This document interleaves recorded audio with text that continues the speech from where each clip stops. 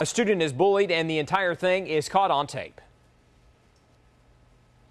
That slapping you see there, we found this video on YouTube. Tonight, the Chickasha students behind it are all being punished. Only on 5 Eyewitness News Jessica Holloway is live in Chickasha. Jessica?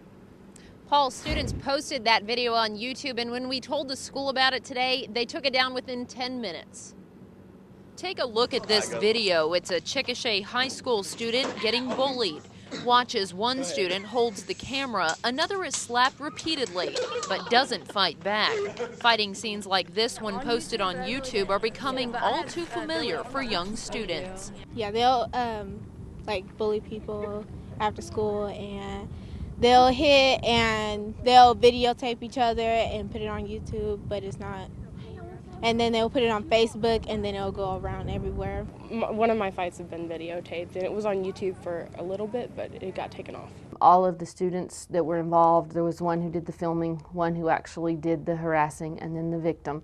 Um, they were all interviewed and appropriate action taken for all the parties involved. Sophomore Shani Osborne says she has class with the students in the video. She knows them and talked to them about the incident. I think it's really stupid. She says the students were foolish to post this on YouTube. She's not the only one. Other students wish they could put a stop to the bullying. We feel like we need to intervene and try to stop it. And the incident happened in a classroom with a substitute teacher. Both of those students have been suspended. Reporting live in Chickasha tonight, Jessica Holloway, Eyewitness News 5. Thank you, Jessica. The school district called the victim's parents and explained their rights to them. The parents can press criminal charges.